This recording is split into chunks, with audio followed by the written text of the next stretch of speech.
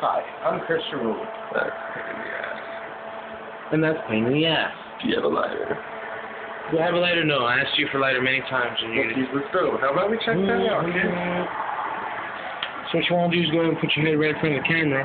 Put the gas on all the way high. Put the gas on all the And way you on see it high. come out. Then put your mouth, you stick your face in the flames. Go ahead and stick your fucking head in there. That's what she said. Ow, that burnt. And that's But at also what she said. fingers went That's also what she said. At the end. That's better.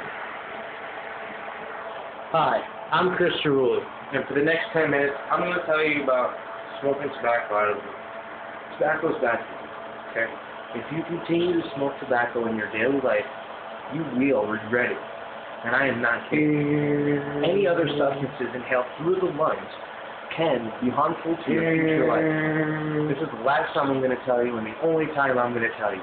My name's Chris Cerulli. Do not smoke tobacco.